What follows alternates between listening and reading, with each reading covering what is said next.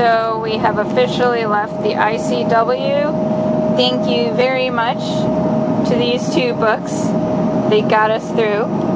Now on to the big charts. So we've been taking a tour in the dinghy of the Deltaville marinas. Um, it's very laid back here for sure. Uh, kind of our speed. And um, I don't know, we're looking at this cat. Amy took a couple of pictures of the cat. And now she's pointing because she thinks I'm going to run over into that wall. Wait, oh my god. What's going on? Oh crap.